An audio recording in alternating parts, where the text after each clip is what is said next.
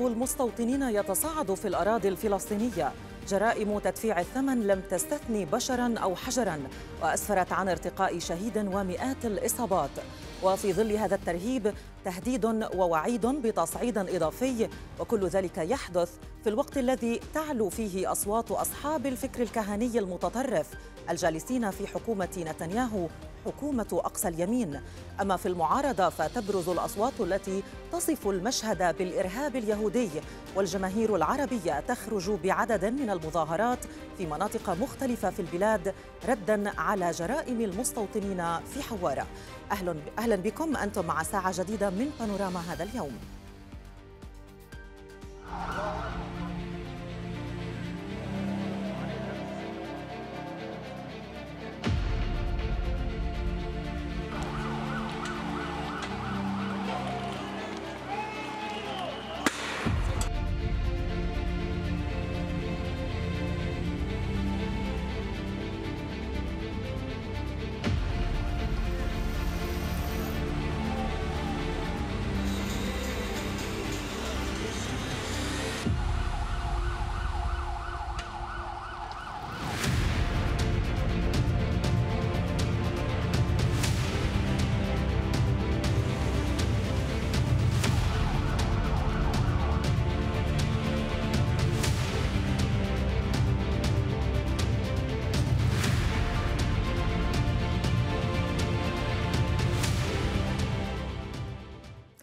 أهلا بكم من جديد. نظم حرك نقف معا اليوم وقفات طوارئ عربية يهودية في عدد من المدن والمناطق في مختلف أنحاء البلاد منها مدينة حيفا تل أبيب السبع القدس وغيرها. وذلك في رد على أعمال التخريب وتدفيع الثمن التي شنها المستوطنون مساء أمس على بلدة حوارة. وتأتي هذه التظاهرات تحت عنوان حكومة المستوطنين تشعل النيران في البلاد. مباشرة إلى الميدان ومدينة تل أبيب حيث تنضم إلي الزميلة رماح مفيد من هناك. مساء الخير رماح أهلا بك. كيف تبدو صورة الوضع في هذه التظاهرة المنددة بإرهاب المستوطنين؟ نعم عفاف مساء الخير لك ولجميع المشاهدين. نحن هنا في مركز مدينة تل أبيب. قبل كل شيء أريدك أن تشاهدي هذه الصور عفاف أنت والمشاهدين التي يتم بها بعنف كبير جدا.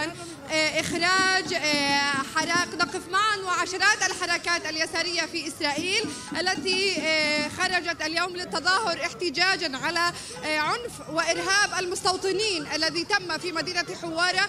ونحن نشاهد أن هنا الشرطة تخرج عشرات المتظاهرين الذين رفضوا إخلاء الشارع. هناك لديهم رسالة بأن ما يحدث أن المستوطنون يقومون بمحاولة حرق هذه الدولة من خلال الاستمرار في الإرهاب والتصعيد في إرهابهم وصمت الجيش بل وحمايته لهؤلاء المستوطنين أمام صمت أيضا السياسيين. وزير الأمن القومي إتمار بن كبير الذي احتاج 16 ساعة ليخرج هو الذي معروف أنه يصل دائما إلى مراكز الأحداث في الدقائق الأولى. 16 ساعة حتى وصل وقال كلمة يجب أن لا نأخذ القانون بأيدينا. هذه هي صورة من يعترض على سياسة الإرهاب سياسة المستوطنين يقمع بقوات كبيرة من الشرطة يقمع و يمنع من أبسط الحقوق وهي التظاهر وقول رسالته الأولى وهي بأن ما يحدث هنا هو إرهاب وديكتاتورية مستوطنين ضعف حكومة بنيامين نتنياهو. هذه هي الصورة من وسط مدينة تل أبيب عشرات النشطاء اليساريون عربا ويهودا. يحاصرون من قبل الشرطة عفاف يمنعون من الاستمرار في الاحتجاج بعد أن قاموا بإغلاق الشوارع. الشرطة تتعامل بعنف كبير. هناك توجيهات كما يبدو نرى هنا الضابط يطلب من الشرطيين أن يتعاملوا الآن بعنف أكبر مع المتظاهرين أن يخلوهم بطريقة أسرع وأقوى وهذه هذا هدوء. الذي تشاهدونه الآن نعم. يأتي بعد تعليمات بأنكم يجب أن تخرجوهم رماح يعني يجب أن تخرجوهم ولكن يجب أن نسجل عفاف أن النشطاء سجلوا موقف قوي جدا وكبير بأنهم اعتصموا على الأرض تشابكوا بالأيدي وهذه صورة صور التقطناها قد بعد اعتصموا على الأيدي وكلما كانت الشرطة تقوم بإخلائهم من الشارع كانوا يعودون من جديد ولكن الشرطة أيضا عفاف. لم تتعامل بطريقة مناسبة مع المتظاهرات النساء. وهنا آه، للحديث عفاف. تنضم آه، معنا آه، المديرة المشاركة لحراك نقف معا. الأستاذة رولا مساء الخير. مساء الخير. مساء النور. هذه صور تبدو صعبة خاصة أن من يتعرض للاعتقال والضرب هم من نشطاء حراك نقف معا. كيف ترين ذلك؟ عفوا منك.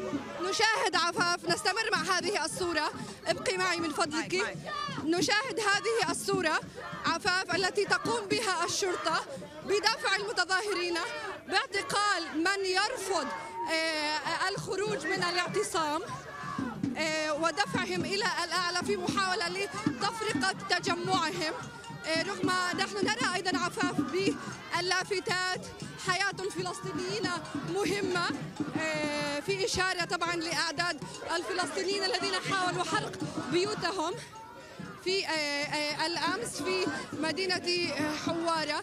ترينا أيضا العلم الفلسطيني في هذه التظاهرة الذي يحاول إيتمار بن كبير منعه وجعل رفعه آه، مخالفة آه، قانونية. هذا أيضا تدافع آخر. تمركز الشرطيين على بعض آه، النشطاء لمنعهم من الاتحاد. ودفعهم لتفريقهم هذا ما يحدث الآن أنهم يقومون بتفرقة المتظاهرين تفرقة أي تجمع ومحاصرة من يرون به شخصية قيادية على الأقل هذا ما ألاحظه كل من يبدو بأنه قيادي يتم آه، دفعه بالقوة. وإخراجه من مركز الشارع. الشرطة تطلب منها أيضا الخروج من مركز الشارع بهدف آه، فتحه أمام حركة المرور. آه، المتظاهرون يهتفون بكلمة هذا هذا عار هذا عار. أيضا رولا تتعرض لدفع من الشرطيين عفاف أحاول وسط ما يحدث. أن أعود للحديث مع رولا أرجو أن تكوني تسمعينني الآن؟ ونتمنى. والآن عفاف أنا معك ومع رولا. رولا أريد أن يطلب مني ويدفعني بقوة. الشرطي بأن يجب أن أقف هنا على آه، حافة الرصيف. رولا كيف تشعرين وأنت ترين ترين نشطاء حراك نقف معا والحركات الأخرى يدفعون بهذه الطريقة؟ شيء مرحبا. شكرا تواجدكم معنا اليوم. المظاهرة كان فيها آلاف الأشخاص اللي وصلت اليوم من عدة حركات فيها عرب وفيها يهود. الهدف منها إنه نحكي عن اللي صار امبارح بحوارة ونحكي عمليا للحكومة لحكومة مستوطنين اللي عم تعطي الحرية الكاملة لهم يعملوا إيش ما بدهم في الضفة. المناظر اللي إحنا عم نشوفها اليوم للأسف مش جديدة علينا ولكن هذا النوع من العنف اللي بمارسوه فقط على النشطاء اللي بيجوا بمظاهرة عشان يحكوا عن الوضع الموجود في الضفة هو عمليا للأسف بخجل احكي بخجل أحكي عن هذا العنف. حاليا نشطائنا متواجدين كمان هون كمان أكثر بأكثر من محل. اليوم المظاهرات كانت مش بس بتل أبيب كانت بحيفا بالقدس برخوفوت بنستيون بالناصرة. كثير ناس طلعت على الشوارع تتظاهر لأجل الشيء اللي صار امبارح اللي من خلاله مستوطنين بكل بساطة استولوا على المحل ولعوا النار. الشيء اللي عملوه هو شيء غير مقبول وهذا الشيء اللي عم بيعملوه بدعم من الحكومة اللي موجودة اليوم اللي هي ذاتها حكومة مستوطنين. إحنا طلعنا اليوم نتظاهر ضربونا اعتقلونا مش مهم. اليوم متظاهرين بكرة متظاهرين آخر الأسبوع متظاهرين. وين ما كانوا كيف ما لازم رح نتظاهر؟ لأنه هاي الموقف الحالي اللي إحنا وصلنا له اليوم هو وضع اللي بطل يقدر بطل يحتمل. قبل كان الجيش يمارس هاي التعديات على الفلسطينيين اليوم الجيش بيحمي مستوطنين اللي بفوتوا يتعدوا على الفلسطينيين وإحنا هون هاي الآلاف اللي وصلت اليوم عشان تحكي صوت واحد إنه هذا الوضع ما ينفعش يستمر وإنه هون في صوت معارض لكل الاشياء اللي عم بتصير صوت اللي بيطالب إنه ننهي الاحتلال ننهي الاحتلال نوصل لسلام إسرائيلي فلسطيني. ما يحدث أن المتظاهرين يقولون عار عار هذا بصوت واحد ومتوحد ولكن نريلا يعني هذه القوى من الشرطة لم نشاهدها بالأمس. تحاول منع المستوطنين من إحراق المنازل في حواره كيف تفسرين ذلك؟ بس هذا إنه إحنا بنحكي على النظام النظام ككل سواء إذا كان الحكومة أو الشرطة بتشتغلش لصالحنا بتشتغل لصالح منظومة معينة اللي هي منظومة مستوطنين ومنظومة احتلال. ولكن بالرغم من كل هذا إحنا بنطلع نتظاهر وح نكمل نطلع نتظاهر سواء إذا كان هنا أي محل ثاني هل هناك برامج معروفة للتظاهرات التي تتحدثين عنها؟ اليوم إحنا طلعنا ب 13 محل تظاهرنا يوم الجمعة في عندنا كمان تخطيطات لحوارة. بقدرش أحكي عنها حاليا لأنه الوضع كمان شوي مشحون ولكن تابعونا. هل تشعرين بأن الحركات حركات السلام مراقبة وأنها يتم التقييد عليها؟ أكيد مليون بالمية، تقدر تشوف اللي عم بيصير هون؟ عاملين يتعدوا على نشطاء، نشطاء ما يعملوش شيء، إحنا طلعنا نتظاهر، حقنا نتظاهر، مرحلة معينة قالوا خلص بكفي. فبلشوا يعتدوا علينا. هل تعتقدين بأن العنف الذي مورس على النشطاء هو أكبر من المقبول في مثل تظاهرة سلمية ترفع فيها الأعلام الفلسطينية، ترفع بها لافتات تطالب بحق الفلسطينيين.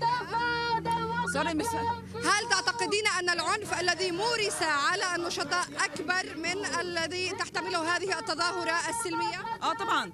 ما فيش ما صارش ولا أي شيء اللي هو غير سلمي، طلعنا ظهرنا مشينا بالشارع مع شعارات بشكل جدا منتظم. سكرنا المفرق صح؟ بس سكرنا المفرق بموافقه الشرطة. اللي هن عم بيعملوه حاليا هو مجرد عنف عشان يفرجونا مين زي ما بقولوا صاحب البيت هون. وبالرغم من كل هذا إحنا بعدنا هون. اذا هل هناك حالات اعتقال أم كل ما يحدث هو حاليا حاليا ما بعرفش إذا في حالات اعتقال كمان شوي بنعرف ولكن في شخصان اللي تم التعدي عليهن من أشخاص عمليا مارة. سواء كان في مواطنين يمينيين. صحيح صحيح مواطنين يمنيين ولكن كمان شوي بنقدر نعرف إذا في معتقلين. طبعا شفت العنف وأعتقد صورت العنف اللي كان هون. لولا داوود المديرة المشاركة في حراك نقف معا. شكرا جزيلا لك شكرا جزيلا لك. اذا عفاف هذه هي طبيعة الصورة هنا في مدينة تل أبيب. أعود لأنقل لكم أيضا الصور. نحن تم جمع المتظاهرين على حافة الرصيف منعهم من الخروج إلى الشارع. لذا تجدون أن نحن محاطون بالعشرات والمئات منهم. الهتافات مستمرة عفاف بأن حياة الفلسطينيين مهمة بأن إرهاب الإرهاب المستوطنون مرفوض. ولكن من الملفت بأن بكم هو كميات الشرطة التي تتعامل مع متظاهرين سلميين كما نرى. كل ما يحملونه هو هي لافتات هي العلم الفلسطيني هي هتافات يقولون بها وينادون برفض إرهاب المستوطنين. انتبه محمد هناك حالة تدافع خلفك. الشرطة تقوم بدفع المتظاهرين وقمت بتوجيه فقط المصور هنا مشهد آخر. الشرطة تحاول إرغام المتظاهرين على الخروج من على الخروج من هذه المنطقة. انظري إلى الشارع. من سيطر عليه الآن هي سيارات الشرطة وجمع المتظاهرون رماح واضح أن الأوضاع آخذة بالتوتر أكثر. هناك قديمة نعم هي حالة توتر. أنا أسمع الشرطيين عفاف يقومون بالقائد قائدهم يقوم بتوجيههم بأن يقوموا بالتشابك بالأيدي كما تشاهدين لدفع يعني كتف إلى جانب كتف والبدء في السير. هذا ما يقوله قائد الكتيبة أو قائد مجموعة الشرطيين. هنا تشابكوا بالأيدي وابدأوا في دفع المتظاهرين إلى الأعلى. يعني هم لا يحتملون المتظاهرين حتى وهم يقفون على حافة الرصيف وحتى بعد أن وضعت السيارات الشرطيين في الشارع. نرى حالة غضب أيضا عفاف.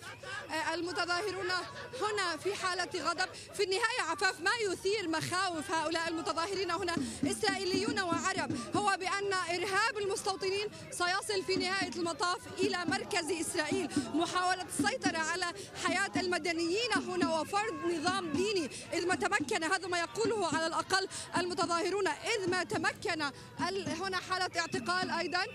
هذه حالة اعتقال لناشط يرتدي إذا إذا هنالك اعتقالات رماح وكما نرى أيضا عبر الشاشة فعليا هنالك نعم. يعني توتر واضح في هذه المظاهرة. رماح هل هل بالإمكان القول أن يعني فعليا الاشتباكات كما نرى على الأقل يعني المظاهرة كانت سلمية من طرف المتظاهرين ما الذي كان كفيل بهذه الاشتباكات واعتداء رجال الشرطة الشرطه عليهم؟ لا شيء. الشرطة قررت أن الوقت الذي منحته للمتظاهرين كاف وأن عليهم الآن الذهاب إلى البيت إخلاء مفارق الطرق إخلاء الشارع والذهاب إلى البيت. رغم أن الحركات عشرات الحركات السلمية قامت بالتنسيق المسبق لهذه التظاهرة والستة عشر تظاهرة الأخرى التي تمت في بلاد مختلفة. كما ذكرت لنا رولا داوود مديرة مشاركة في حراك نقف معا ولكن هو قرار الشرطيين هنا. وهذا ما نقول عنه عفاف عندما نتحدث عن أن نعم. رئيس الأمن القومي هو إتمار بن كبير الذي يعني يفرض سياسته من الواضح أنه يفرض سياسته من الواضح نفاذ صبر الشرطيين حيال المتظاهرين هنا رغم أننا ذكرنا مرارا مرارا وتكرارا منذ هذه التغطية أن ما قام به المتظاهرون هنا. رفع لافتات هتافات ورفع العلم الفلسطيني وحاول المتظاهرون منعهم من إخلائهم من الشارع من خلال التشابك. إذا هذه هي صورة الوضع المتكررة هنا في هذه اللحظات. عفاف. نشكرك جزيل الشكر رماح توخو الحذر. سنعود إليك في نافذة إضافية. إذا هذه هي صورة الوضع من هذه التظاهرة في تل أبيب. قمع للتظاهرة واعتداءات على المتظاهرين وعلى ما يبدو أيضا كما شاهدنا في بث مباشر الحديث عن اعتقالات. سنعود في نافذة أخرى أيضا لكافة التطورات مع الزميلة رماح مفيد. والآن من تل أبيب إلى جنوبي البلاد وينضم إلي الزميل مراسلنا ياسر العقبي. ياسر كيف تصف حجم المشاركة؟ صورة الوضع أيضا من هذه التظاهرة في مدينة بئر السبع. نعم مساء الخير عفاف لك ولكافة السادة المشاهدين. نحن هنا في بئر السبع مدينة بئر السبع وتحديدا بالقرب من مركز المعلمين الواقع بين مستشفى سروكا بئر السبع والجامعة بن غوريون على يسارنا. العشرات من المتظاهرين وصلوا إلى هذا المكان وبدأوا طبعا بالإحتجاج ضد أحداث حوارة ضد الحكومة اليمينية المتطرفة وضد الحروب بصورة عامة. كان هناك يعني لفته من العرب واليهود الذين شاركوا من منظمات المجتمع المدني الذين وصلوا إلى هنا طبعا ورفعوا صوتهم عاليا ضد ما اسموه المحرقة التي وقعت في منطقة حوارة وبالذات في منطقة نابلس ضواحي نابلس بالأمس الصوت واضح الصوت قوي جدا الصوت هو أنه هذه الحكومة فاشية تؤدي بالجميع إلى التهلكة وبالتالي علينا أن نقف قبالتها ونوقفها كان هناك عدد من المتظاهرين الذين رفعوا الإعلام الفلسطينية ولكن الشرطة منعت ذلك. سنتحدث عن ذلك بعد قليل. اولا سنبدأ مع المحامي والناشط الحقوقي شحده بن بري. أول شيء مساء الخير. سبب وجودك هنا اليوم. عادي. في في ظل ما يحدث من هجوم على شعبنا العربي الفلسطيني وعلى الناس الآمنين. ومما على ضوء ما تقترفه هذه الحكومة من جرائم منذ بداية هذا العام ضد أبناء شعبنا يعني قتل أكثر مما قتل في ليلة البلور في ألمانيا. نحن نشبه ما يحدث بليلة البلور لا إنها ليلة بلور مضاعفة ويعني ممكن تضربها في ثلاثة وأربعة كمان. ونحن هنا نحتاج نرفع صوت مستنكر ومساند لأبناء شعبنا الذين يرزحون تحت الاحتلال. ونساند أبناء شعبنا هنا نحن الذين نرزح أيضا تحت العنصرية والديكتاتورية والفاشية في هذه البلاد. كان هناك يعني نقاش لك مع الشرطي مع ضابط شرطة بكل ما يتعلق بقضية رفع العلم الفلسطيني ماذا قلت له؟ يعني أردت أن أوضح له بأن هذه رفع العلم الفلسطيني هو أمر عادي قانوني لا ينافي القانون وأنه علم لشعب زي ما هم بيرفعوا العلم الفل... الإسرائيلي يحق لابن الشعب الفلسطيني أن يرفع العلم الفلسطيني فهو أراد تحرير نوع من المخالفة ويقول أنك تعرقل عملي كشرطي. وفي نهاية المطاف أريد أن أحيي تلك المواطنة اليهودية التي قامت برفع العلم. وفي النهاية رأينا أن الشرطة قد يعني أخذته منها وانتقلت به بعيدا. نعم أشكرك جزيل الشكر المحامي والناشط الحقوقي شحدة بن بري حقيقة هذه هي المواطنة التي آه، رفعت العلم الفلسطيني الذي ي- ي- يعني يلازمها منذ عشر سنوات יעל רונן, דגל פלסטין מלווה אותך זה עשר שנים. בהפגנות, כן. כן, ו- זה והיום... דגל פלסטין על בריסטול כמו זה, שבאמצע שלו כתוב Free Palestine. כן. מה- מה מה עשו לך השוטרים בעצם? השוטר אמר לי שאני לא יכולה להרים את הדגל, את השלט, בגלל שזה יכול לגרום טריגר למישהו שנוסע בכביש, ויגרום לו לעשות תאונה. אני הסברתי לו שזה עדיין חוקי, עדיין חוקי במדינת ישראל להרים דגל פלסטין, והסברתי לו שעצם זה שאני לסבית יכול לגרום למישהו שנוסע בכביש טריגר, למשל למישהו דתי, ויכול לגרום לו לעשות תאונה, ושאלתי אותו אם גם אני צריכה להיעלם מהרחוב. לא הייתה לו תשובה על זה. למה אתם כאן היום? אני כאן כי אני מקווה שיותר ויותר אנשים שיוצאים היום למחות על הדמוקרטיה במדינת ישראל יבינו שלא ניתן להפריד בין מה שקורה בשטחים, בין מה שקרה בחווארה, לבין מה שקורה בכנסת בירושלים, לבין הסכנה לדמוקרטיה ליהודים היום. זה הכל אותו סיפור. אין דבר כזה דמוקרטיה לחלק. כי אם יש דמוקרטיה לחלק, החלק הזה הולך ומצטמצם. או שיש שוויון לכולם, או שאין לאף אחד. اوكي تدرى ربا الاخ يائل رونين هي مواطنه من مدينه بئر السبع تحدثت سالتها آه، حول آه، ال- النقاش الذي كان بينها وبين آه، الشرطي آه، ضابط الشرطه وقا- فقال لها انها يعني آه، كان من الممكن يعني بسبب هذا العلم ان يقوم احد الاشخاص من الشارع الرئيسي بدهسها وقالت له أن هذا العلم علم آه، قانوني علم غير لا لا ليس يعني لا لا يعارض القانون.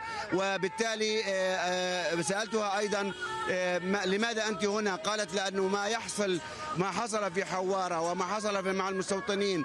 أنا أرفع هذا العلم منذ عشر سنوات في كل مظاهرة أشارك فيها فري فلسطين الحرية لفلسطين.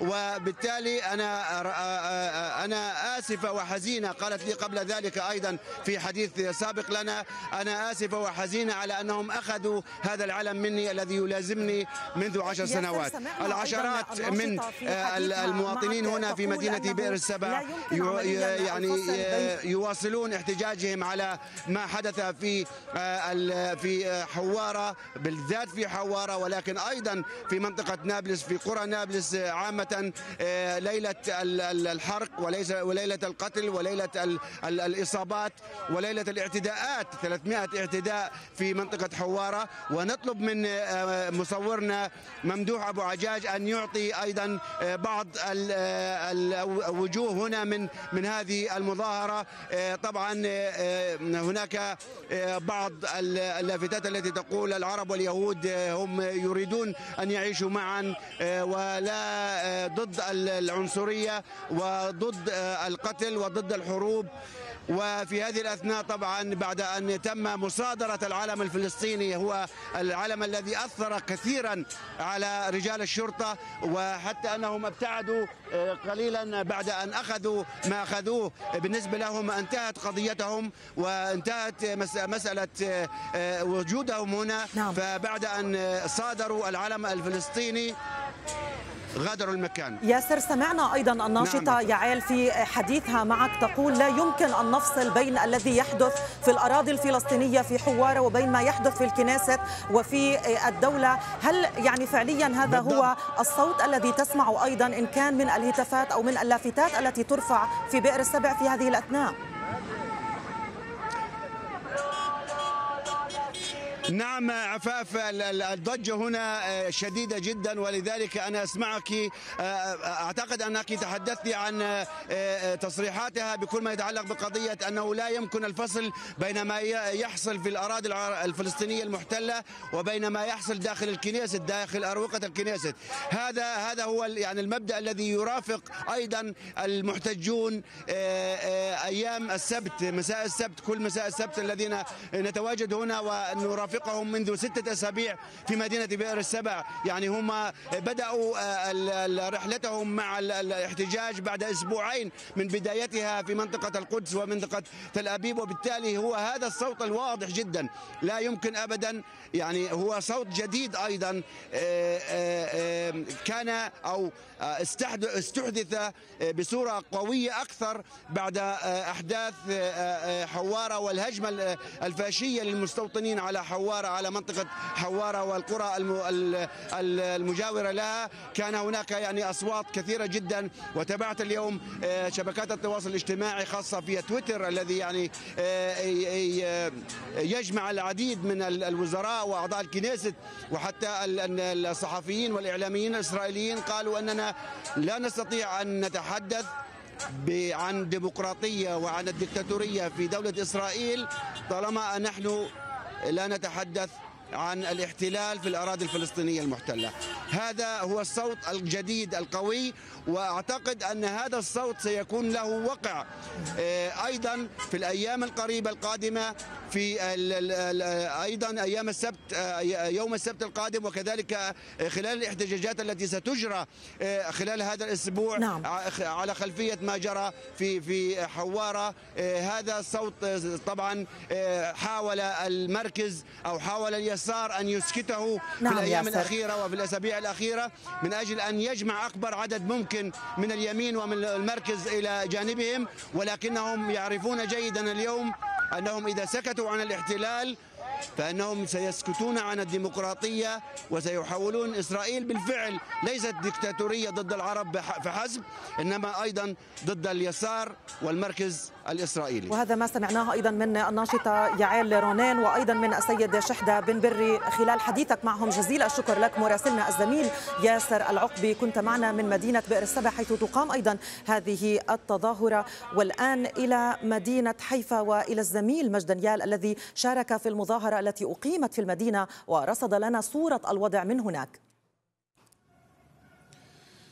نعم مساء الخير عفاف لك ولكافة المشاهدين. يعني في أعقاب الاعتداءات السافرة للمستوطنين في الضفة الغربية على بلدة حورة وإحراقهم لعدة منازل ومركبات لفلسطينيين عزل. وهذه الاعتداءات التي خلفت يعني قتيل ومئة جريح. يعني اليوم تم تنظيم عدة وقفات احتجاجية ومظاهرات في عدة مدن وبلدات عربية ويهودية من يعني عدة جهات وأحزاب وجمعيات أيضا عربية ويهودية. وهنا في مدينة حيفا تقام هذه المظاهرة من خلف يشارك بها يعني العشرات يعني لربما حوالي ال 200 شخص يشاركون في هذه المظاهرة. عربا ويهودا يهتفون ضد الاحتلال وضد ممارسات المستوطنين الإرهابية. ومعنا للمزيد حول هذه المظاهرات وحول ما حدث بالأمس في حوارة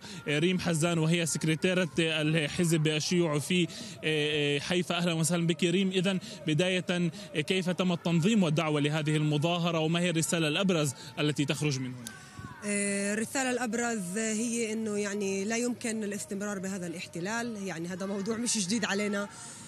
لكن لا يمكن الاستمرار مع الاحتلال لا يمكن الاستمرار مع القمع لا يمكن الاستمرار مع الجرائم اليومية المرتكبة بحق الشعب الفلسطيني.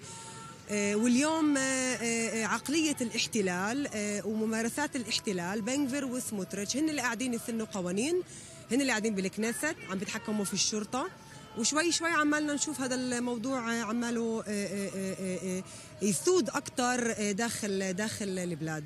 يعني في اعقاب ما حدث بالأمس في حوارة واعتداء أكثر من 500 مستوطن على المواطنين الفلسطينيين العزل.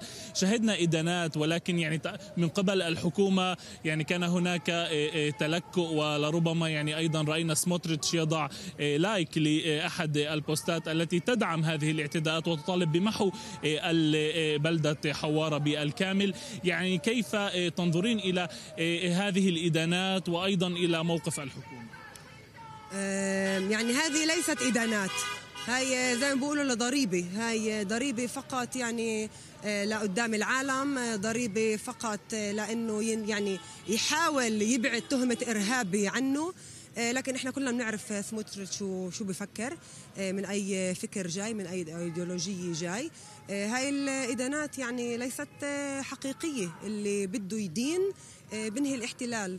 اللي بده يدين آه، بيطلع المستوطنين الذعران والمجرمين من آه، من الضفة الغربية نعم وإذا تحدثنا عن معسكر آه، اليسار والمركز والذي يقول بأنه معسكر اليسار والمركز والذي يتظاهر كل يوم سبت إن كان في هنا في حيفا وأيضا في تل أبيب ضد الانقلاب على الديمقراطية والانقلاب على الجهاز القضائي ولكن لا يأتي بأعداد كبيرة ليشارك في المظاهرات ضد الاحتلال ماذا تقولين لهؤلاء المحتجين وهذا المعسكر؟ يعني برأيي هذا اليس هذا هو اليسار الوحيد اللي موجود في هاي البلاد.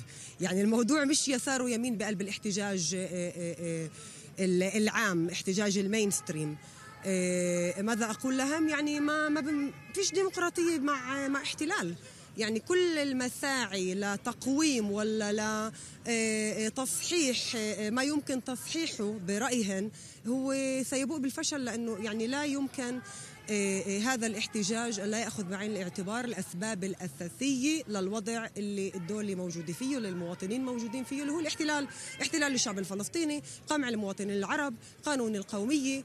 آه، فزي ما قلت هذا هو اليسار الوحيد. المعركة في الاحتجاج ليست بين يسار ويمين بين يمين ويمين. وطبعا في يساريين يعني لا أنفي لكن المسيطر على هذا سؤال يعني أنتم في الجبهة والحزب الشيوعي والقوى الديمقراطية الحقيقية التي تطمح إلى شراكة عربية يهودية هل تلمسون بأن هناك آه، لربما فهم آه، آه، ازدياد ال- الشرائح التي تعي بأن وجود الاحتلال هو ما آل إلى ما آلت إليه البلاد يعني من انعدام للحريات والديمقراطية؟ يعني أعتقد إن هاي ال- الفهم هذا بتوسع ربما ببطء لكنه بتوسع. ما حصل في الأمس الجريمة البشعة اللي حصلت امبارح أعتقد إنها خلت ناس اللي حتى لو ربما لا يتفقون معنا على كل شيء آه، إنما آه، يرفضون آه، أن أن تنفذ ب- ب- ب- بأسمائهن آه، جرائم حرب. وهي هي جرائم حرب. شكرا جزيلا لك يا ريم حزان سكرتيرة الحزب الشيوعي هنا في حيفا. شكرا جزيلا لك. إذا يعني مشاهدينا ويعني عفاف كما تشاهدون هذه الصورة من هنا من حيفا من الهضار في مدينة حيفا العشرات من العرب واليهود من القوى الديمقراطية العربية اليهودية التي تتظاهر الآن في هذه الأثناء ضد الاحتلال وممارسات الاحتلال ويعني حماية قوات الاحتلال والحكومة الحالية لأوباش المستوطنين الذين ينفذون أبشع المجازر ويعني المشاهد التي رأيناها بالأمس من حرق للبيوت في ساعات الليل المتأخرة وأثناء تواجد النساء والأطفال داخل البيوت يعني مباشر مظاهر ومشاهد بشعة للغاية صدرت للعالم بأسره وكان هناك إدانات كافة إلا من الحكومة وأعضائها ووزرائها الذين هم بأنفسهم مستوطنين. إليك عفاف جزيل الشكر لك الزميل مجدنيال كنت معنا من هذه التظاهرة التي أقيمت في مدينة حيفا اليوم أيضا ونعود في هذه الأثناء إلى مدينة تل أبيب وفي النافذة المباشرة الأولى كنا قد شاهدنا هذه الاعتداءات في بث مباشر من قبل رجال الشرطة على المتظاهرين. الزميلة رماح مفيد مساء الخير مجددا. رماح كيف تبدو صورة الوضع في هذه الأثناء؟ وهل اتضحت الصورة بما يخص الاعتقالات؟ هل من اعتقالات في هذه التظاهرة؟ كان هناك اعتقال واحدة حتى الآن ولكن أريد أن يساعدني المصور محمد. ننتقل إلى صورة توقيف مصور معروف هذا الشاب الذي تشاهدونه بهذه الصورة بأنه هذه حالة الاعتقال الثانية. إذا عفاف هذا ما نقوله هذا الشاب المصور. عرفناه تحديدا عرفته في كل التظاهرات في بالفور وهنا في بالفور وفي كابلن والآن هنا معروف بأجندته اليسارية. كان هناك محاولة لمصادرة العلم الفلسطيني. قائد هذه الكتيبة من الشرطة قام باختطاف العلم من متظاهرة بطريقة عنيفة جدا بدفع المتظاهرين بطريقة كان الهدف منها أن يؤذيه. والآن ما تشاهدونه عفاف هي صورة المتظاهرين الذين يحتجون ويقولون أين كنتم أيها الشرطيون؟ عندما كان في حوارة عندما قام المستوطنون أو الإرهابيون المستوطنون بإحراق منازل أكثر من 30 منزلا ومئات السيارات حالة قتل. وهناك آه، أيضا تعرض للمواطنين الذين تمكنوا من مشاهدتهم. إذا هذه هي الصورة. ولكن عفاف لنفهم لماذا خرج كل هؤلاء الإسرائيليين اليهود تحديدا للتظاهرة. ينضم إلي هنا عمري. عمر عفوا عمر هو مواطن إسرائيلي يساري لا ينتمي إلى أي حراك ولكن هناك ما أخرجه للتظاهر اليوم وهذا ما سوف أتحدث معه عنه وسأحاول الترجمة من العبرية إلى العربية في انتهاء إجابتي עומר ערב טוב, תוכל להגיד לי למה יצאת הערב מהבית? מה בוער לך באמת ולמה באת לכאן? אני ראיתי אתמול מה שקרה בחווארה ומול הטלוויזיה התחשק לי להקיא אז אני בבושה ומזועזע וכל מי שפה בא קודם כל להגיד שאנחנו שונאים את מה שקרה אתמול ושהמפגנות אה, בעד דמוקרטיה לא יכולות להתעלם מהכיבוש ושזאת הבעיה האמיתית של ישראל ובשביל זה אנחנו פה تدار بالخا إذا عفاف كل ما قاله بأنني شاهدت ما حدث بالأمس في حوارة. شعرت بحالة بأنني يعني أكره ما يحدث. لذا أنا أتواجد هنا. كل الأنظمة الديمقراطية ترفض الاحتلال وأنا جئت هنا للتظاهر والاحتجاج. هذا ليس ترجمة دقيقة ولكن في مجمل ما قاله عمر وهذا أيضا ما تحدث حدثني عنه أيضا معظم المتظاهرين هنا الذين سألتهم لماذا جئتم في مثل هذه الليلة. خرجتم من بيوتكم. ما الهدف الذي تريدون إيصاله. هذه هي إذا إذا الرسالة أن هناك في إسرائيل وإن كانت بأعداد ضئيلة من يرفض الإرهاب المستوطنين؟ هناك من يسمي العملية باسمها هذا إرهاب؟ هذا ليس دفاع. ليس. لم تكن هناك حاجة ضرورية لإحراق عفوا لإحراق ثلاثة لإحراق 13 منزل وسكانها بها.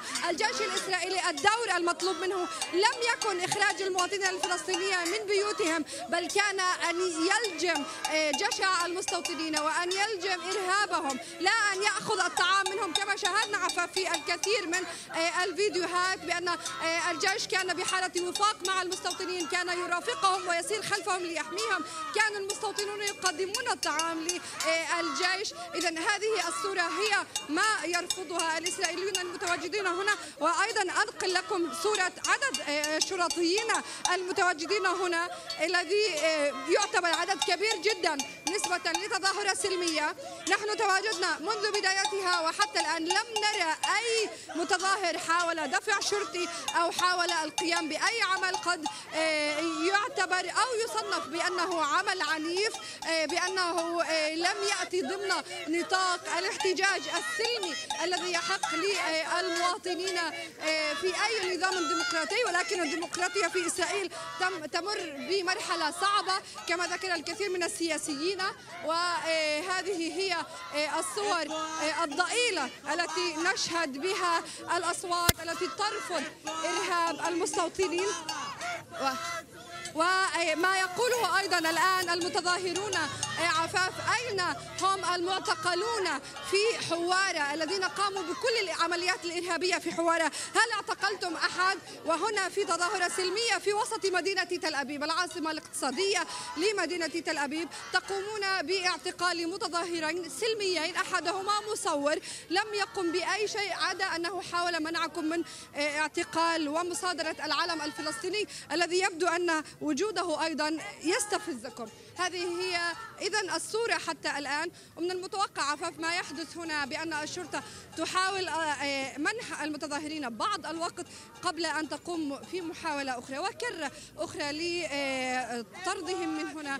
وربما محاولة اعتقال ثالث لإخافة من لم يخاف بعد. إذا اعتقال متظاهرين وفعليا هذه المشاهد التي نراها في هذه التظاهرة في بث مباشر. جزيل الشكر لك الزميلة رماح مفيدسة. نتابع معكم كل التطورات الميدانية. شكرا رماح. في أعقاب اعتداءات وجرائم المستوطنين في حوارة توالت ردود الفعل من أعضاء المعارضة. تهاجم قطعان المستوطنين وتصفهم بالإرهابيين. قال رئيس المعارضة الإسرائيلية يائير لبيد في تغريدة له على تويتر تعقيبا على الهجوم الدموي الذي شنته ميليشيات فاشية الاستيطان على قرى في محيط نابلس أن الحكومة فقدت السيطرة على الإرهاب اليهودي واصفا الوضع بالفوضى العارمة. وأضاف لبيد أنه يجب سجن عضو الكنيست زفيكا فوغل بتهمة التحريض على الإرهاب وذلك بعد أن غرد الأخير داعيا إلى حرق قرية حوارة. وكان لبيد قد قال في تغريدة أخرى أن ميليشيات سموتريتش شرعت في حرق حوارة بهدف نسف قمة نتنياهو وجالنت في العقبة مشيرا إلى أن هذه الحكومة تشكل خطرا على أمن إسرائيل. بدوره قال وزير الأمن الإسرائيلي السابق بني جانس إنه لا توجد حكومة في إسرائيل بل هناك فوضى. وأشار جانس في تغريدة له أن متهمين بالإرهاب ومحرضين يجلسون على طاولة الحكومة وفي الكابينت الأمني برعاية نتنياهو. ويمسون بشكل خطير المصالح الأمنية العميقة لإسرائيل وذلك في إشارة إلى نواب عن حزب الصهيونية الدينية. وفي سياق متصل قالت عضو الكنيست رئيسة حزب العمل ميراف ميخائيلي عبر منصات التواصل الاجتماعي إن الإرهابيين الذين يتجولون الآن في حوارة يشعلون النار ويدمرون كل ما في طريقهم. يمتصون شرعيتهم من كبار أعضاء هذه الحكومة فليس عبثا أن يتردد معظمهم في إدانة منظمي المذبحة. وأضافت ميخائيل أن هذا الورم الخبيث الذي يهدد البلاد يجب أن يتوقف في أسرع وقت ممكن قبل أن يقود إسرائيل إلى الدمار حتى النخاع.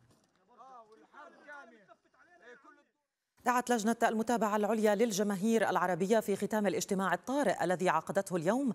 دعت إلى مظاهرة قطرية تنظمها غدا الثلاثاء في الساعة السادسة مساء في مدينة سخنين تنديدا بإرهاب المستوطنين وعدوانهم على حوارة. المزيد في تقرير الزميل مجد دانيال هذه المشاهد التي ترونها ليست من ليلة البلور في ألمانيا بل في بلدة حوارة قضاء نابلس.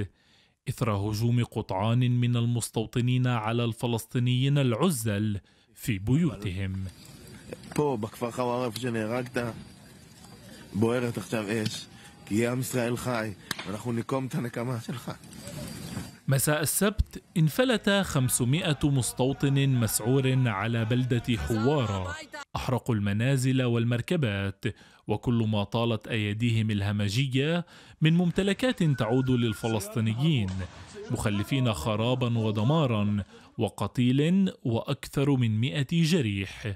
كانت الأنباء واضحة ولديهم معلومات بأنهم يتوجهون نحو حوارة وأنهم ينظمون اعتداء منظم على أهالي حوارة. والجيش كان هناك ليرعاهم وليس ليردعهم.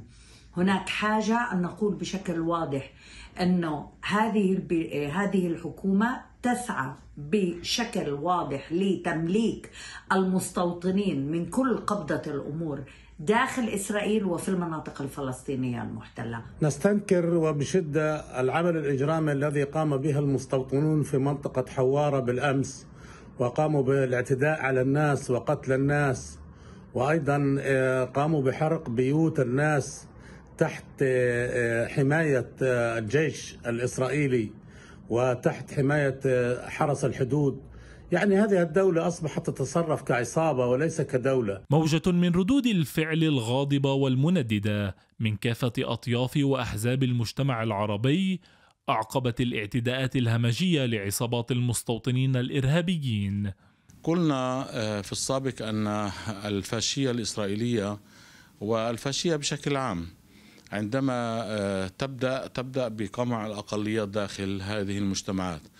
وبما أنه شعبنا الفلسطيني في الضفة الغربية يقع تحت الاحتلال فهو الحلقة الأضعف أمام هذه الفاشية.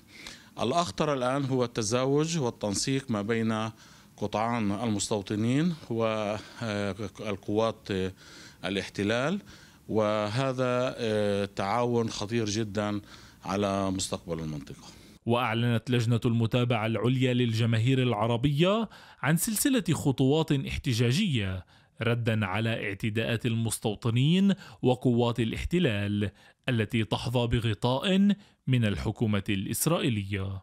ما شاهدناه أمس هو مشهد رهيب يذكر بجرائم النازيين في أوروبا في الثلاثينات.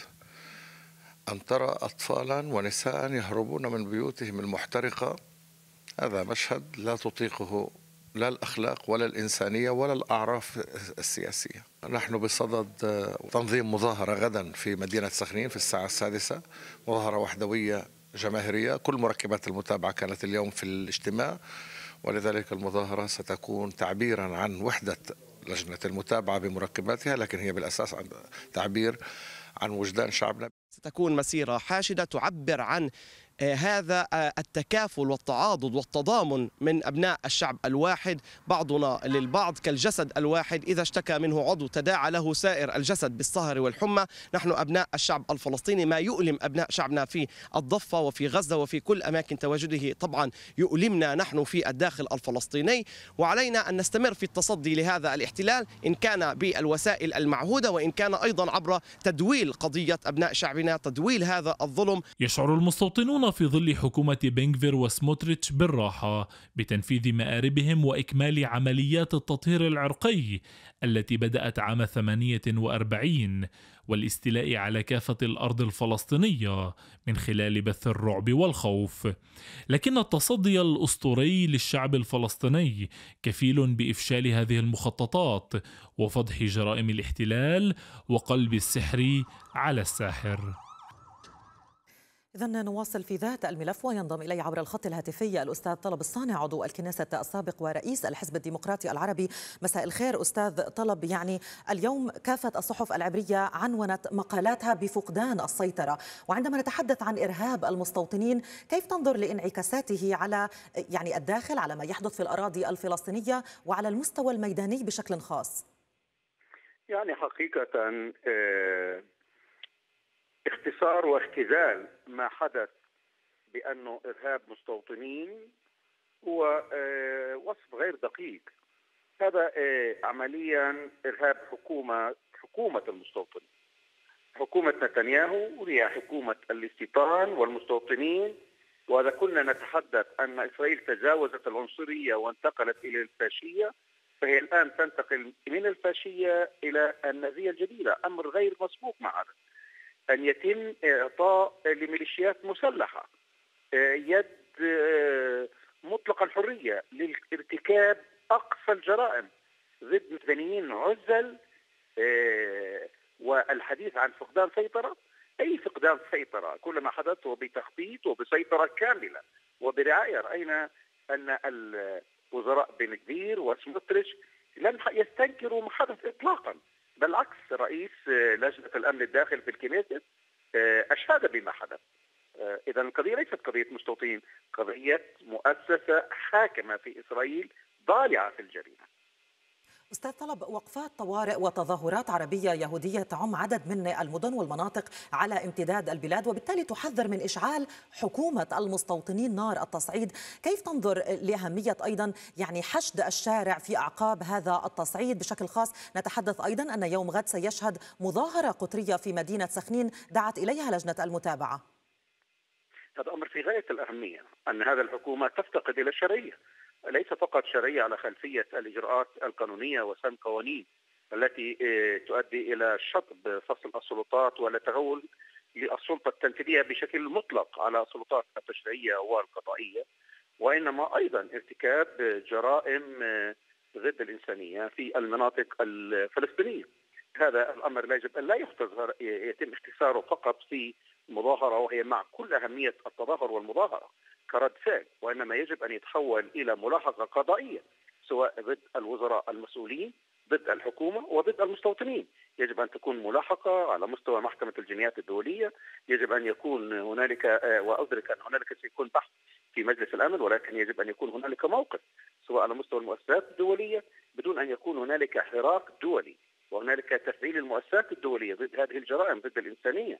فأن هذه الحكومة بتركيبتها التي تتجاهل ردود الفعل الشعبية ستستمر وتتمادى. وبالتالي مطلوب موقف رسمي فلسطيني عربي دولي على خلفية الجريمة. هذه بداية وإذا رأوا أنه بإمكانهم أن ينفذ ذلك قد يتكرر ذلك في مدن فلسطينية قد نرى ذلك في اريحا ولاحقا في نابلس أو في الخليل. ولكن الآن يجب أن يكون موقف واضح دولي إزاء هذه الجريمه النقراء. وبموازاة هذه الضرورة ربما لهذا الموقف الدولي الذي يعني تتفضل بالحديث عنه أستاذ طلب مجددا يعني جرم المستوطنين أعمال التخريب إحراق البيوت والإعتداءات تتصاعد. والفرق هذه المرة أنهم يمسكون بقبضة الحكم. هم أعضاء في هذه الحكومة المتطرفة الحالية. اذا من سيسيطر عليهم هنا في الداخل ومن سيحمي الفلسطينيين من كل تصعيد إضافي وجرائم إضافية يمكن أن تنتهي بما لا يحمد عقباه؟ أختي الكريمة قضية الشأن الداخلي انتهى. الدول مجلس الأمن وهيئه الأمم والشرعية الدولية تدخلت في في ليبيا بسبب تحت ذريعة حماية المدنيين. تدخلت في سوريا تحت بذريعة حماية المدنيين. الآن المدنيين الفلسطينيين الواقعين تحت الاحتلال يواجهون عمليات قتل واحراق بيوت واحراق منازل، اذا أين المسؤولية وأين يعني دور المؤسسات الدولية؟ الآن يجب طرح هذه القضية وبقوة، نحن أمام ليس قضية مستوطنين فقط وكانهم مدنيين، من أرسل هؤلاء المستوطنين ومن أقام هذا المستوطنات الحكومة، نحن أمام ميليشيات. وإذا رأيتي كان هنالك مسلحين. وأيضا كانوا بوجوه بشكل واضح، يعني بالإمكان تسمية الكثير ممن شاركوا وهم يمثلون ويتبوؤون مناصب في مجلس الاستيطان الإسرائيلي. وعلى هذا الأساس يجب تفعيل المسؤولية الدولية في هذا الجانب، التفعيل الجانب العربي، التفعيل الجانب الإسلامي، الحراك الدولي مهم في هذه القضية إلى جانب الحراك الشعبي الذي يجب أن نؤكد أنه عامل هام لطرح القضية واستمراريتها مع ولتفعيل رد الفعل العربي والدولي أستاذ طلب عضو الكنيسة المتطرف اليوم تسفيكا فوغيل قال أنه يريد أن يرى القرى الفلسطينية تشتعل بالنيران. رئيس المعارضة لبيد رد وقال يجب أن يسجن بتهمة التحريض على الإرهاب. طبعا يعني نحن نعلم أن ذلك لن يحدث ولكن عندما تخرج هذه الأصوات المحرضة التي تنادي بإحراق البيوت والقرى الفلسطينية ويعني استباحة الدم الفلسطيني من يردعها اليوم في ظل يعني تركيبة الحكومة الحالية وكيف ستؤثر على الشارع هنا في الداخل الفلسطيني؟ الحكومة تستمد شرعيتها من الصمت الأغلبية والحراك الشعبي وردود الفعل الشعبية تؤكد أن لا شرعية لما حدث تصريحات فوغل أو ممارسات بن كفير وسموتريش هي غير مفاجئة إذا رأينا إلى البرنامج الذي طرحه سموتريتش قبل عامين يقول بأنه لا مكان للفلسطيني إما تهجير وإما قتل وإما استسلام يعني ولديه خطة كاملة متكاملة. بن كفير يريد إقامة البيت يريد إقامة الهيكل على أنقاض الأقصى. لديهم برنامج وهم أيديولوجيين يعني يجب أن يكون واضح لأين تسير الأمور. وكل من يحاول ضر الرماد بالعيون بأن هؤلاء عندما يتبوأوا منصب سيتحولوا إلى المسؤولين هم يستخدموا المنصب لتحقيق الأيديولوجيا الفاشية التي يؤمنون بها. أستاذ طلب يعني بدأت أيضا تعلو الأصوات القلقة صدقا من خطورة هذا المشهد الذي تابعناه من حوار مساء أمس وهنالك من يقول يعني من يعتقد أن اعتداءات المستوطنين ستقتصر على القرى الفلسطينية في الأراضي الفلسطينية في الضفة الغربية. مخطئ يمكن أن يستنسخ هذا المشهد مجددا للبلدات المختلطة وأيضا للقرى والبلدات العربية هنا في الداخل. هل يعني هذه الخشية في مكانها في هذا التوقيت؟ بكل تأكيد يعني كانت هنالك مقدمات لما حدث. كانت الميليشيات المسلحة في دير السبع وفي الليد الآن من طالب بإقامة الميليشيات بن هو وزير الأمن الداخلي ولديه حرس الحدود وهو سيكون بتجنيد الآلاف. أنا متأكد بأن كل هذه الآلاف المؤلفة التي سيكون بتجنيدها في عقاب زيادة الميزانية المخصصة لبين كبير أكثر من 8 مليار شيكل سيكون باستخدام وانخراط. هؤلاء الفاشيين من حزب بن كبير وآخرين داخل الشرطة وسيكون المستوطنين بزي شرطي. وينفذوا هذه العقلية العدائية والميليشيات المسلحة تحت ذراع بأنهم يمثلون القانون وبالزي الشرطي. على هذا الأساس هذه الممارسات بالتأكيد لا تعرف الخط الأخضر. منذ هبة الكرامة رأينا ذلك. وأيضا هذه الممارسات التي نراها في الداخل الفلسطيني ستؤكد أن هذه الحكومة تشطب ما يسمى الخط الأخضر. هذه الممارسات قد تحدث في كل مكان وبالتالي أنا أرى بانه ردة الفعل على جريمة حوار هي رسالة واضحة لهذه الحكومة. ويجب أن يكون ردة الفعل على مستوى الحدث وعلى مستوى التحدي سواء في الداخل الفلسطيني في المظاهرة يوم غد وسواء في الداخل في الأراضي الفلسطينية المحتلة وفي مناطق السلطة الفلسطينية يجب أن يكون رد فعل شعبي واضح وقوي ومجلجل. على هذه الجريمة النكراء. يعني في النافذة المباشرة من مدينة تل أبيب أستاذ طلب كنا قد سمعنا المتظاهرين يصرخون في وجه رجال الشرطة ويسألونهم أين كنتم يوم أمس من يعني أفعال وجرائم واعتداءات المستوطنين في حواره وللمقارنة أيضا يعني يوم أمس تم اعتقال ستة مستوطنين فقط وتم إطلاق سراحهم والآن نشاهد أيضا يعني اعتداءات على المتظاهرين في تل أبيب اعتقالات أيضا وقمع هذه المظاهرة. كيف تنظر لهذا التعامل من قبل جهاز الشرطة المحكوم اليوم بيد وزير الأمن الداخلي إيتمار بنكفير؟ يعني الشاعر الألماني نيملر قال عندما جاءوا لإعتقال الشيوعيين لم أحتاج لأنه لست شيوعي، وعندما جاءوا لإعتقال اليهود لم أحتاج لأني لست يهودي، وعندما جاءوا لاعتقال المشتركين لم أحتاج لأنه لست اشتراكيا، وعندما جاءوا الاحتجاجي لم يكن هنالك من يحتج. القضية أن العداء والمراسات القمعية ضد العرب ستنتقل بالتأكيد لليسار الإسرائيلي وتنتقل لكل من يعارض هذا التوجه الفاشي. هذا يذكرنا أختي الكريمة بكيف بصعود الحركات الفاشية في العصر المظلم في أوروبا سواء في إيطاليا أو في ألمانيا هكذا كان. وهذه الحركات أيضا وصلت الحكم بانتخابات ديمقراطية ثم ألغت الديمقراطية. والقوانين التي قررتها كانت قوانين غير دستورية وبالرغم انها قد حازت على الأغلبية. حقيقة ما يحدث في إسرائيل هو نذير لما حدث في تلك الدول الفاشية. وبجملة أخيرة أستاذ طلب ما المطلوب ميدانيا اليوم من الفلسطيني أينما تواجد من يعني الداخل الفلسطيني على وجه الخصوص؟ ونشدد أيضا على هذه المظاهرة القطرية وأهمية ربما يعني أن يعلو صوت الجماهير العربية بهذه المظاهرة السلمية. يوم غد يجب أن يتواجد الجميع في مدينة سخنين ليس فقط لدعم أهلنا في حوار وإنما للتأكيد على حقنا في الوجود والبقاء بالعيش بكرامة في كل أماكن تواجدنا ولرد على هذه الممارسات القمعية الإرهابية بأنها لن تردعنا ولن تخيفنا وإن هذا الشعب لا يركع لمثل هذه هؤلاء الفاشيين وعصاباتهم من المجرمين. التقاعس الآن هو انتصار لهذا التوجه والحراك يجب أن يستمر ليس مظاهرة واحدة نعم. إنما الانخراط في كل المظاهرات الأسبوعية إسقاط هذه الحكومة الفاشيه. هذا الآن يتطلب عمل مشترك يهودي عربي وعمل مشترك لكل من هو معادي للفاشية ولهذه الحكومة الإجرامية، بقاها هو خطر على الجميع. جزيل الشكر لك على هذه المداخلة. عضو الكنيسة السابق ورئيس الحزب الديمقراطي العربي الأستاذ طلب الصانع. شكرا جزيلا. إذا من بين المظاهرات العديدة التي أقيمت اليوم أقيمت أيضا وقفة احتجاجية في ساحة العين في مدينة الناصرة ردا على جرائم المستوطنين في الأراضي الفلسطينية المحتلة. شارك عشرات الناشطين في وقفة احتجاجية بساحة العين في مدينة الناصرة استنكارا لإرهاب المستوطنين الإسرائيليين في بلدة حوارة وتضامنا ومؤازرة لأبناء شعبنا في الضفة الغربية وبشكل خاص في بلدة حوارة والجوار. وجاءت التظاهرة بدعوة من جبهة الناصرة والحزب الشيوعي والشبيبة الشيوعية تنديدا بالعدوان على بلدة حوارة. كل يوم هناك سقوط شهداء إن كان في جنين ومخيم جنين وشعفاط علينا أن نقف يد واحدة ضد الهجمات الشرسة للمستوطنين.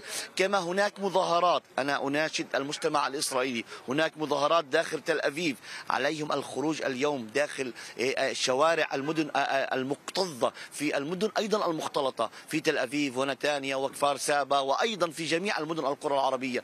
لوقف عدوان المستوطنين داخل حوارة ونابلس وقرى نابلس. وحمل المشاركون في التظاهرة شعارات منددة بإرهاب المستوطنين في حوارة وحرق المنازل والمنشآت والممتلكات. وللحديث أكثر عن التظاهرة القطرية التي دعت إليها لجنة المتابعة العليا في ختام الجلسة الطارئة التي عقدتها اليوم. ينضم إلي الأستاذ ماجد أبو يونس وهو عضو اللجنة الشعبية في مدينة سخنين. مساء الخير. أستاذ ماجد أبدأ معك بالتجهيزات التحضيرات لهذه المظاهرة التي ستقام مساء يوم غد في مدينة سخنين.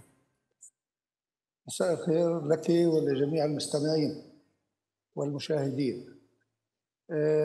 حقيقة منذ ساعات الصباح نعكف على التحضير لمظاهرة قطرية تحتضنها مدينة سخنين سخنين يوم الأرض دفاعا ووقوفا آه، إلى جانب شعبنا الذي يعاني الأمرين من سياسة الاحتلال سياسة الإرهاب الذي آه، يقوم به المستوطنون الفاشيون. آه، ما مما حدث بالأمس من أعمال إجرامية بحقهم في في آه، قرية حوارة حيث تم إحراق عشرات المنازل وأكثر من 35 منزل أحرق بشكل تام و40 منزل أحرق بشكل جزئي وأكثر من 100 سيارة.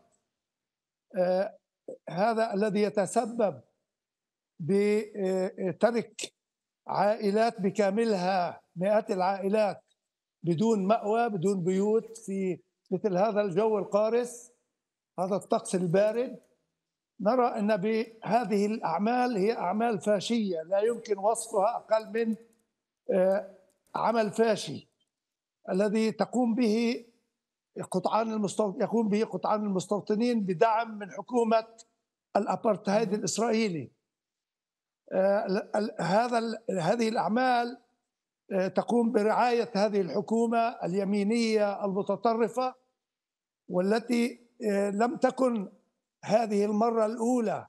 فعلى مدار الساعة يقومون بالاعتداء على أهلنا هناك من اقتلاع أشجار حرق محاصيل اعتداءات على مواطنين آمنين.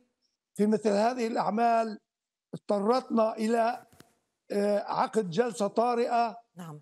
لأن الأمور لا تحتمل الركون جانبا بما أن الدم الذي يسفك هو دمنا والشعب الذي يتم الاعتداء عليه هو شعبنا. فنحن ليس لسنا بمحايدين في مثل هذه المعركة. إنه مطلوب منا من موقعنا الوقوف ومساندة أهلنا هناك. ودعمهم بما لدينا من إمكانيات. فلهذا السبب تم اتخاذ القرار بدعوة مظاهرة إلى مظاهرة الدعوة إلى مظاهرة قطرية في مدينة سخنين التي قامت بها لجنة المتابعة. بالتفاهم والتعاون مع بلدية سخنين واللجنة الشعبية. ودوركم كلجنة شعبية بطبيعة الحال هو دور مركزي وهام أيضا. طبعا بالإضافة إلى جهود لجنة المتابعة بكافة مركباتها أستاذ ماجد كيف تعملون خلال هذه الساعات أيضا على حشد المتظاهرين على التواصل مع رؤساء السلطات المحلية أيضا ل يعني حضور أكبر عدد ممكن لهذه التظاهرة القطرية؟ قمنا اليوم منذ ساعة الصباح بتحضير الشعارات مع آه، آه، توزيع أو نشر دعوة عبر مواقع التواصل الاجتماعي. عقدنا اجتماع للجنة الشعبية واتخذنا فيها مجموعة من القرارات كيف أي ساعة تكون المظاهرة من أين تنطلق. ما هو مسارها أين تنتهي آه، آه، الكلمات الذي التي ستلقى في نهاية المظاهرة آه، حيث تقرر أن تنطلق المظاهرة من شارع الشهداء في سخنين لتجوب شوارع المدينة الساعة السادسة من مساء الغد ولتعود إلى ساحة البلدية بلدية سخنين وهناك تنتهي بكلمتين كلمة آه، رئيس لجنة المتابعة العليا للجمعية العربية السيد محمد بركي وكلمة رئيس بلدية سخنين السيد آه، صفوت أبو ريا وعرافة عضو اللجنة الشعبية محمود شاهين. آه، هذا هذا الشيء سبق طبعا خلال ساعات المساء. انطلقنا إلى المساجد ودعونا من خلال المكبرات الصوت. أهلنا في سخنين. التجند للمشاركة في المظاهرة. الجبارة التي ستنطلق في شوارع سخنين في كل مساجد البلد. وغدا في ساعات النهار بعد الثالثة ستنطلق سيارة بمكبرات صوت. تهجوم شوارع المدينة وتدعو الأهالي للانخراط بالمظاهرة التي تحمل هموم شعبنا وتطلق صرختها المدوية وهل هذه الدعوات أيضا تنطلق في باقي البلدات أو المدن العربية أستاذ ماجد؟ آه، خلي أكون صادق معك. هذا ما فعلناه بسخنين. باقي القرى لديهم آه، مؤسساتهم لديهم أحزابهم لديهم لجانهم الشعبية وهم مفروض يقوموا بما هو مطلوب من أجل تجنيد جماهيرهم. نحن على يقين أنه آه، ما نقوم به في سخنين نطلب من الآخرين أن يقوموا بنفس الجهد وبنفس الفعل من أجل تجنيد أهلنا في كل مكان. وطبعا آه، لدينا مواقع التواصل الاجتماعي لكل واحد عنده آه، المئات من أو الآلاف من الأصدقاء الذي يتوجهون نتوجه إليهم طالبين من خلال آه، دعوة صريحة وواضحة المشاركة في مظاهره يوم أمس آه، والتي نأمل كما عودنا شعبنا ان في هذه اللحظات يكون مجندا متواجدا حاضرا داعما بكل قوة لقضيتنا العادلة، قضية شعبنا هي قضية عادلة.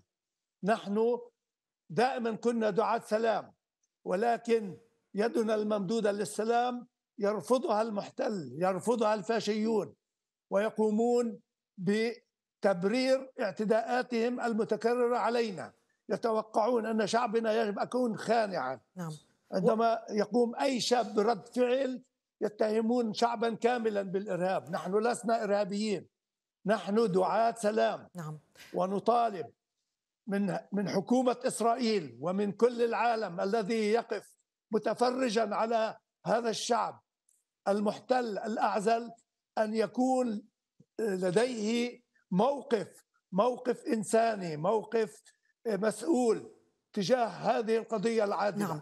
أستاذ ماجد أخيرا يعني بناء على كل ما تفضلت به رسالتكم مناشدتكم أيضا ودعوتكم لجماهير شعبنا هنا في الداخل المشاركة بهذه التظاهرة القطرية السلمية التي دعت إليها لجنة المتابعة. تفضل.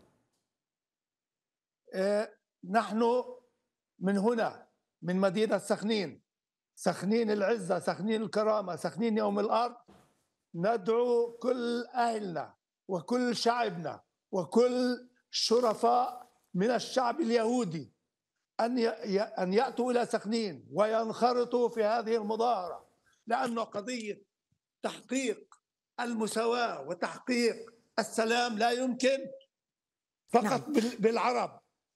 إنما بكل الناس الصادقين الواعين من المجتمع اليهودي نحن نعلم أن هناك أصحاب ضمائر من اليهود الذين يتظاهرون يوميا في مشارف يطا في الشيخ جراح في حتى في تل أبيب وفي حيفا وفي كل نعم. محل نناشدهم أن مكانهم غدا في مظاهرة سخنين التي يجب أن تجمع كل الشرفاء من كلا الشعبين ضد آه، حكومة الاضطهاد حكومة الاحتلال. ونقول الاحتلال هو الإرهاب. وضد إرهاب المستوطنين أيضا بطبيعة الحال. جزيل الشكر لك الأستاذ ماجد أبو يونس عضو اللجنة الشعبية في مدينة سخنين على هذه المداخلة. وللتنويه أيضا بدورنا بفضائية مساواة سنقوم بنقل ببث مباشر أيضا لهذه التظاهرة القطرية السلمية التي دعت إليها لجنة المتابعة يوم غد من مدينة سخنين عند الساعة السادسة مساء. الآن ينضم إلي الحقوقي أمل عرابي أيضا للتعقيب على هذا الوضع. وربما آخر التطورات الميدانية مساء الخير. أمل يعني الكثير من التظاهرات مجموعة من التظاهرات على امتداد البلاد انطلقت هذا اليوم تنديدا بإرهاب المستوطنين. مشاهد قاسية تابعناها يوم أمس من حوارة كيف تنظر لهذه التطورات الميدانية. في ظل أيضا يعني هذه الأصوات التي تخرج من الائتلاف الحكومي التي تدعم إرهاب واعتداءات المستوطنين. مساء الخير لكم جميع المشاهدين. اسمحي لي بالبداية أن أعلق على المشاهد اللي شاهدناها أمس. خصوصا أنه هناك من يحاول أن يسوق لنا رواية مفادها أن ما حدث في الأمس من إرهاب مستوطنين في حوارة هو نابع من غضب لحظي من المستوطنين الذي تفجر وتحول فيما بعد إلى أعمال شغب وإرهاب. وهناك من يحاول أن يسوق رواية أخرى أن الحديث يدور عن فشل المؤسسات الأمنية في جيش الاحتلال في أن تحافظ على الأمن والأمان في داخل البلدات الفلسطينية. كلتا التحليلان مرفوضان ويجب علينا أن لا نقع في هذا الأمر، أن ما حدث بالأمس هو جزء من مشروع كامل متكامل يقف على رأسه رؤساء المستوطنات ومدعوم من الحكومة، إن هذه أعمال الشغب الإرهابية تحدث خلال السنة وبشكل يومي من قبل قطعان المستوطنين وهي تهدف إلى تحقيق هدف استراتيجي واضح وهو إبعاد الفلسطينيين عن الأراضي الزراعية وعن الأراضي التي تريد المستوطنات أن تتوسع عليها، فإن هذه الأعمال يقف من وراءها استراتيجية واضحة وهي منظمة وما شاهدناه بالأمس بعيد كل البعد أن يكون عملية غضب وخرج بها المستوطنين من آه، من الرسائل التي تصلنا من أخواننا في أهالينا في حوارة. كان هناك عملية ممنهجة كان هناك معدات واستعدادات إلى هذا الهجوم البربري. وهذا يوضح لنا أن هناك استراتيجية واضحة يقف خلفها رؤساء المستوطنات وهي مدعومة من قبل الحكومة. للتنويه فقط في البارحة وزير الأمن وزير الأمن الداخلي لم يعلق بالمرة على ما حدث على ما حدث وهو معروف في دعم الإرهاب. وزير الداخلية عبر تويتر يعلق بلايك على من يريدون أن يمحوا حواره وهو وأنا هنا يدور الحديث عن وزار وزيرين من الوزير الوزراء الكبار في الدولة. فماذا نتحدث عن باقي أعضاء الكنيست الذين رأوا في فيما حصل سبب للفرح وسبب للابتهاج بحسب ما قالوا. ف وأريد فقط أن أنوه على يعني قليل من المعطيات حول عنف وإرهاب المستوطنين. تفضل. 98% من الملفات التي فتحت ضد مستوطنين بسبب عمليات إرهابية ضد فلسطينيين تم إغلاقها من قبل الشرطة. 43% من عمليات الإرهابية التي قام بها المستوطنين ضد أراضي فلسطينية من قطع أشجار من عوث خراب في أراضي زراعية جميعها أغلقت. فهنا نتحدث عن استراتيجية من قبل المستوطنين وعن جيش الاحتلال الذي يقوم في الدفاع عن هؤلاء المستوطنين. كان من خلال إغلاق الملفات ضدهم أو من خلال التستر على الإرهاب الذين يقومون ودعنا لا ننسى أمل ربما هذه المعطيات الخطيرة التي تذكرها متعلقة بالسنوات الماضية. اليوم يعني ربما الخطورة تزداد لأنه هؤلاء المستوطنين هم من يعني يجلسون في الكنيسة هم أعضاء هذا الائتلاف الحكومي. ما الذي يعني من الممكن أن يحدث أيضا ميدانيا يعني البلاد على صفيح ساخن من كل الاتجاهات؟ هذا الشيء هذه المعطيات هي تمثل من 2005 حتى سنة 22 في هذه السنة عندما دخلت حكومة المستوطنين والحكومة الداعمي الإرهاب إلى الحكم نرى أن في البارحة الإرهابيون الذين خرجوا على البلدات العربية خرجوا بأوجه مكشوفة وصوروا أنفسهم على شبكات التواصل الاجتماعي ولكن حتى الآن لم يتم اعتقال أي شخص اعتقل ست أشخاص وجميعهم ذهبوا إلى البيت. فهنا نرى أن الدعم الذي تقدمه الحكومة إلى قطعان المستوطنين لا يكتفي بإغلاق الملفات إنما يتقدم إلى إلى دعم فعلي لهذه الأعمال. الآن بما يمكن أن تؤول إليه الأحداث نحن نرى أن العمليات الإرهابية لن تتوقف ولم تتوقف. فهذا يطالب منا أن بحالة عالية من الجهوزية سواء في الأراضي المحتلة في عام 67 وسواء في الداخل. فماذا عفاف أريد؟ أستاذتي أريد ان يعني أطرح عليك تساؤل. الدعم الحكومي الذي يتلقاه قطعان المستوطنين ممكن أن يكون رسالة إلى الإرهابيين في داخل البلدات اليهودية في الداخل أن تبدأ في تشكيل ميليشيات وأن تبدأ في الأعمال الإرهابية ضد البلدات العربية، ماذا يضمن لنا أن لا يقوم الآن ميليشيا في بلدة زي العفولة أو في بلدات مثل بلدات يهودية أخرى أن تقوم ميليشيا وأن تبدأ في أن تهاجم المواطنين العرب في ظل الدعم الحكومي. هذا الخطر قائم ولذلك يجب أن تكون جهوزية ولجانب يجب الخروج إلى الشوارع من أجل التنديد في السياسات الحكومية وفي إرهاب في إرهاب المستوطنين. حتى الآن قلنا أن يجب أن لا نخرج إلى المظاهرات ضد الحكومة لأنها هي شأن يهودي داخلي ولكن الأحداث التي حصلت بالأمس في حوارة وما يتبعها من دعم من رؤساء هذه الحكومة لما حدث. يعني الآن يصبح واجب أخلاقي ووطني الخروج إلى الشارع ضد هذه الحكومة الفاشية وضد سياساتها وضد إرهاب المستوطنين. وتشكيل الميليشيات الذي تحدثت عنه أمل هو ليس بالمشهد الجديد. دعنا لا ننسى ما حدث خلال أحداث هبة الكرامة. وبناء عليه أريد أن أسألك بما أنه حالة التعبئة أيضا والتحريض تستمر عبر كافة المنصات الاجتماعية وتخرج أيضا من أفواه يعني الائتلاف الحكومي والمتطرفين داخل هذه الحكومة. على من يجب أن يعول اليوم الفلسطيني في الداخل في يعني كل أماكن تواجده أيضا؟ وأريد أن أسمع منك بما يتعلق بأهمية المشاركة أيضا بالتظاهرة يوم غد.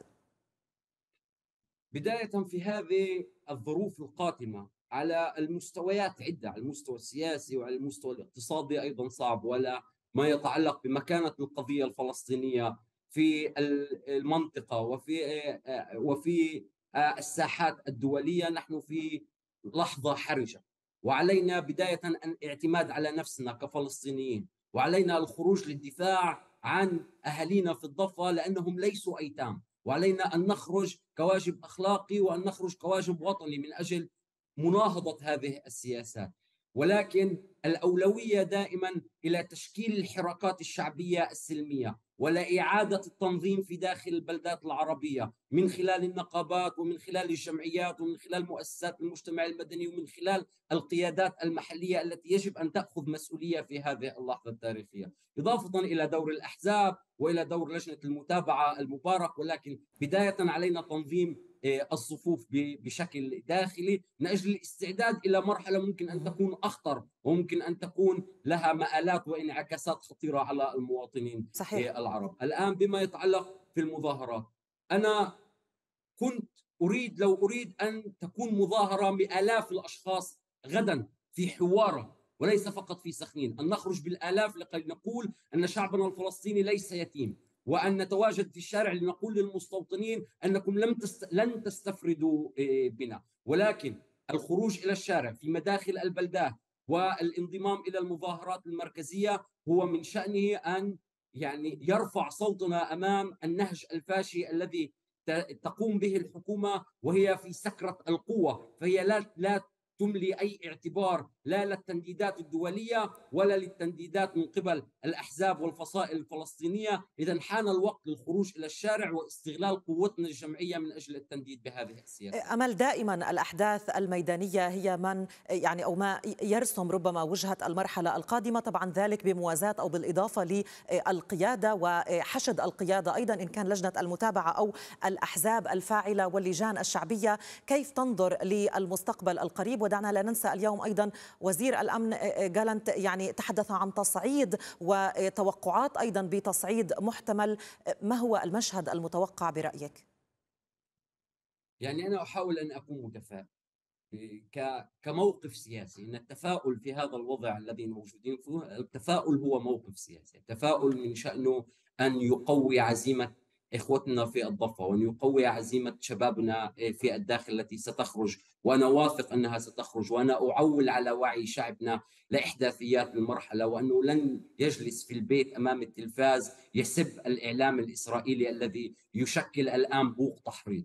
ولكن من خلال النظر إلى ما يحدث على الساحة الإقليمية وعلى الساحة السياسية العالمية. من الواضح أن الإدارة الأمريكية بالشراكة مع مصر والأردن معنية في تهدئة خصوصا قبيل شهر رمضان.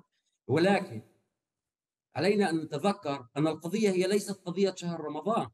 شهر رمضان هو شهر الإحسان وشهر التسامح وإسرائيل تحاول أن تسوق أن شهر رمضان هو شهر دموي وأن المسلمين يخرجون إلى قتل اليهود. ولكن هذا كذب وتلفيق. هم يريدون أن يعني يستروا على على إجرامهم وعلى عملهم من أجل يعني من أجل منع أي إمكانية للحل السلمي، فنحن نرى أن الحكومة تستمر وتمع وتمعن في تبييض المستوطنات.